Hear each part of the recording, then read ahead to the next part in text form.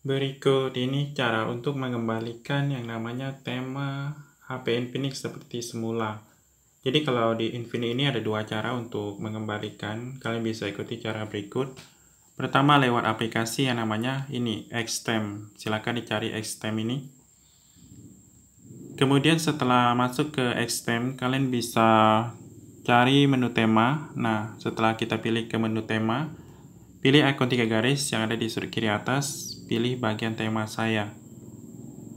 Nah, di sini kalau kita ingin mengembalikan, itu pilih yang XOS ini. Ini tema bawaannya. Pilih terapkan di bawah. Ini tema yang pernah kita unduh. Kalau dari pengaturan, bisa pilih pengaturan yang ini.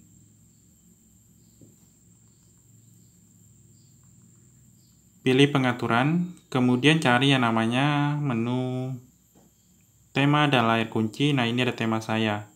Sama juga caranya. Silakan pilih dan kembalikan ke awal dengan milih terapkan. Itu saja silakan dicoba semoga bermanfaat.